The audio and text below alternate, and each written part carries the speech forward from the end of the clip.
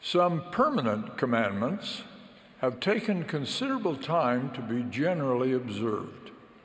For example, President Lorenzo Snow's famous sermon on the law of tithing emphasized a commandment given earlier but not yet generally observed by church members.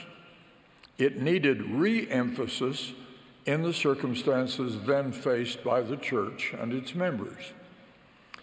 Recent examples of re emphases have also been needed because of current circumstances faced by the Latter day Saints or the church. These include the Proclamation on the Family, issued by President Gordon B. Hinckley a generation ago, and President Russell M. Nelson's recent call for the church to be known by its revealed name, the Church of Jesus Christ of Latter day Saints.